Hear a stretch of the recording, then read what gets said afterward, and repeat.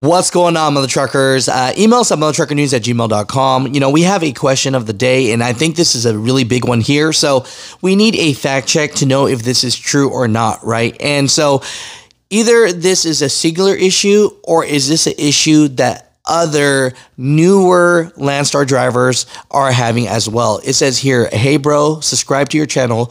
Could you possibly make a video or look into why Landstar dropped all new owner operator carriers without any explanation other than saying it was a business decision?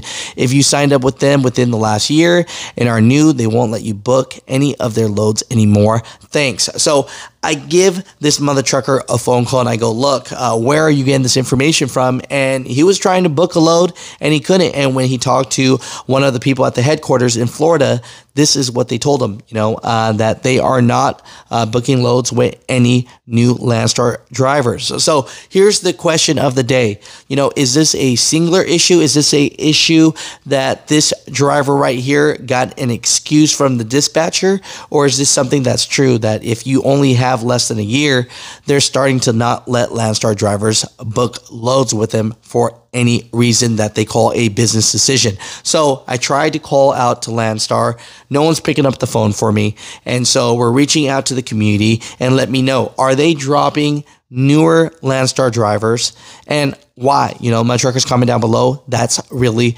big. Uh, ask and question there, you know. Um, now, here's one. The other day, we talked about uh, Ten Roads and how they lost their USPS contract. And I asked the question out loud if any USPS truck drivers can email us. So I'll keep the name anonymous. I got about 30 truck drivers from USPS, and they're all saying the same thing.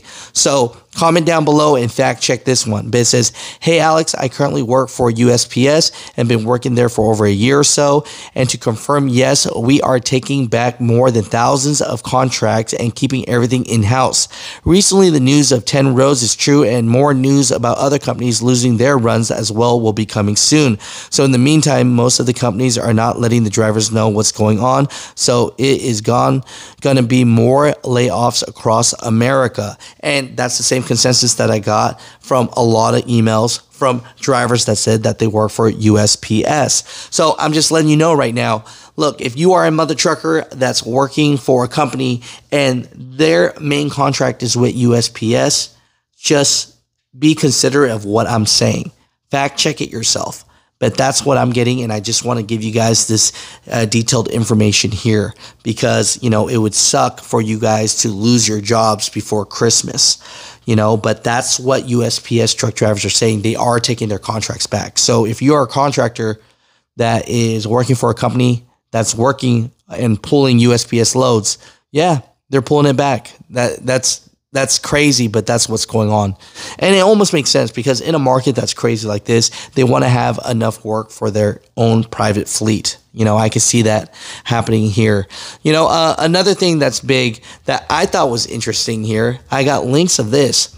Now, there's a man out there right now that's accused of putting truck drivers out of service because he's stealing their side mirrors.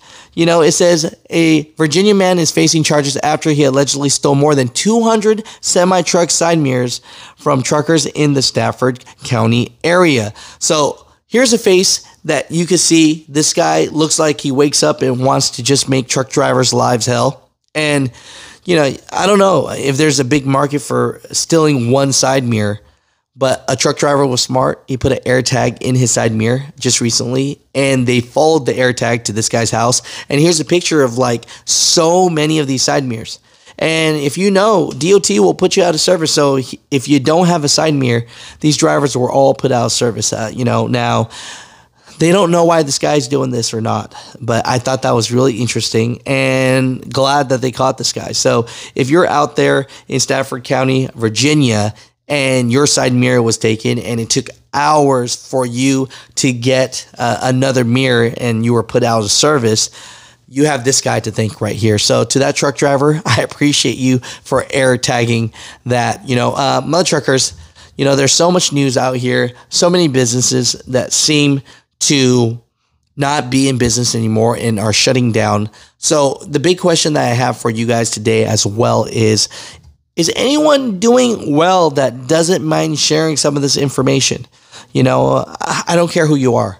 You know, this is not a sponsored show. So if you work for Walmart, you work for some company where you're making six figures or good money in this crazy market and they are hiring, you know, email us at gmail.com. I want to put some positivity out here. I, I want something, uh, some to gain some information for truck drivers so that they can win in this tough market.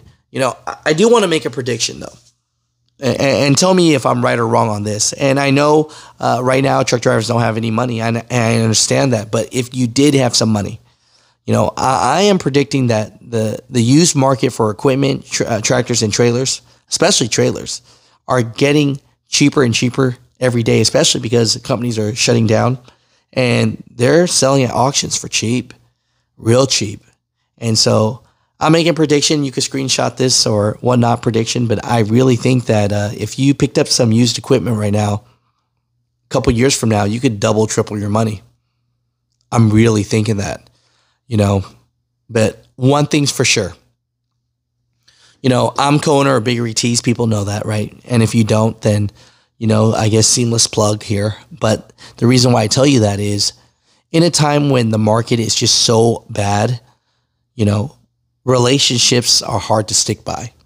And even though it's really hard to make money for everybody right now, I'm finding myself being able to build relationships with travel centers that will actually even look at our t-shirts at Big Rig Tees. You know, um, and so it's the same for uh, trucking companies. You know, if there is any opportunity, people are losing their relationships right now. It's your chance to gain them to gain these lanes, to gain these relationships, you know, and win when it gets better. You know, uh, my truckers comment down below. What are your thoughts about everything I'm talking about? But the the big one that I want to know is this Landstar driver. You know, is this a singular issue that he was dealing with, and did they give him a runaround, or is this something that they're doing to all Landstar drivers that are newer? You know, because you know, this is big news if it is. Uh, Mush comment down below. I love you guys. I appreciate you guys. Thank you for listening to today's podcast.